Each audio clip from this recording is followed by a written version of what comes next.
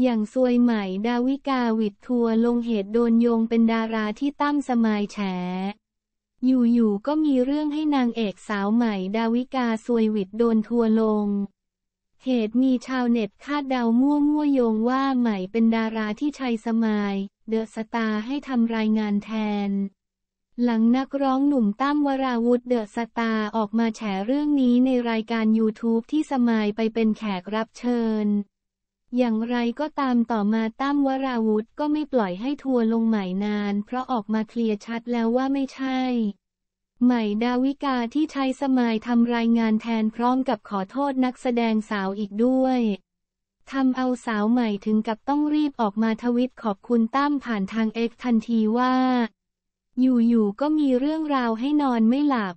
รถทัวร์ได้อูทรีกลับไปแล้วขอบคุณน้องสมายและน้องตั้มมากนะคะ เครื่องหมายสี่เหลี่ยมใหม่ดาวิกา พร้อมกับไปคอมเมนต์ในช่อง YouTube รายการดังกล่าวอีกว่า ขอบคุณมากๆนะที่ออกมาช่วยเซฟพี่